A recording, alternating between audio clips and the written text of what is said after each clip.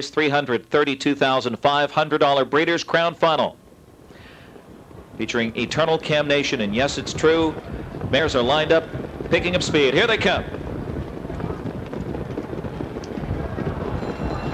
And the raw off with Ramelin Hanover trying to show speed. Tattoo Hanover guns out from the inside. Cinder Best with uh, alert pace. And yes, it's true from the far outside as Campbell's trying to rally her early into it. Around the first turn as Luc Ouellette and Tattoo Hanover sprints to the front here. Cinder Best settles in second. Yes, it's true up on the outside as Pierce pulls the pocket with Cinder Best.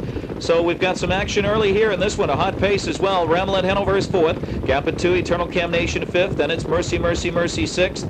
Have No Secrets seventh off the turn. Followed by Walk on the Beach and Aquatic Yankee and Hawaiian Flash. That opening quarter was a hot 26 seconds flat.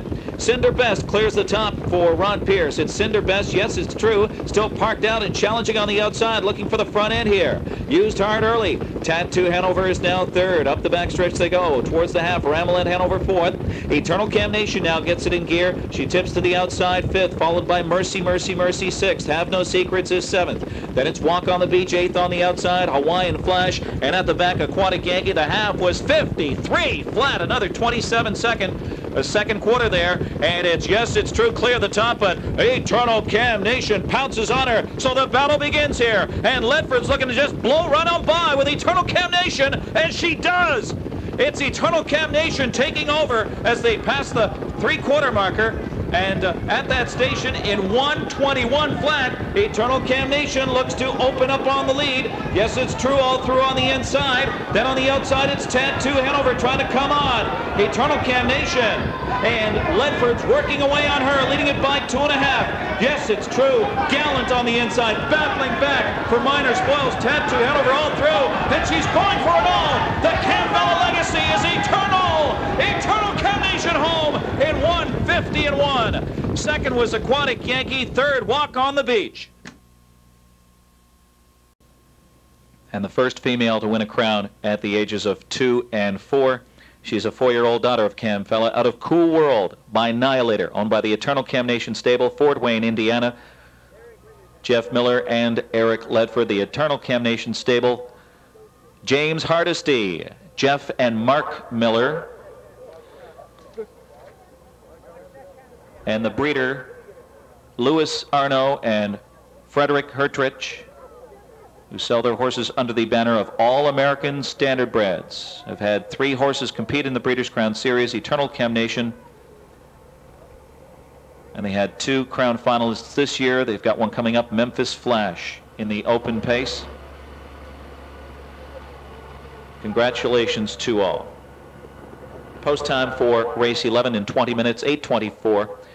We'll have winner circle interviews momentarily, but number two, Eternal Camnation pays 260, 240, 220. Number seven, Aquatic Yankee, 460, 460. The six, Walk on the Beach, $11. 27 exacta, $20. 276 trifecta, $498. Making the presentation, Mr. Bruce Garland, our Senior Executive Vice President here at the Big M, and Mr. John Cashman. Welcome to the Big M. Mr. Cashman, a director of the Hambletonian Society.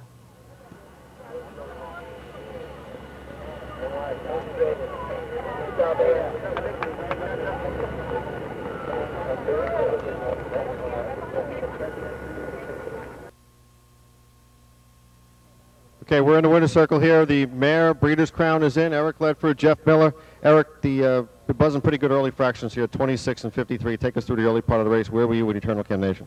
I believe I was sitting about uh, fifth. Uh, they was buzzing pretty good up front. First quarter was real hot. Uh, actually, it worked out very good for me. She's gone first over before. We've seen that. Uh, is this the ideal trip, or did, did it bother her at all? Well, naturally, that's not the ideal trip, but uh, she's such a great horse. She overcomes anything I do with her. What was the main competition here? Post 10, yes, it's true, was pretty hard used. What about that, and how much do you have to get after in the stretch?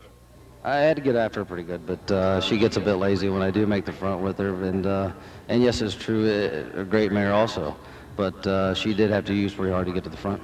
Just compare to your winning the crown with her as a two-year-old? Uh, any crown's good. Okay, Eric Ledford, second Breeders' Crown. Congratulations, Jeff Miller. Well, Cinderbest was in here, Eternal Camnation was in here. Tell us about your watching the early part of the race because Cinderbest was out there in, part of that early action. Well, I was really pretty reserved with her going to the front. You know, I, we vacated the two hole, and, and she Merritt really loves a perfect trip, and so I was a little disappointed with, you know, with, with that action. But I'm pretty happy with the, the way the race ended up. She, her attitude has been great. Tell us a little bit about uh, Eternal Nation coming into this week and where does she go from here?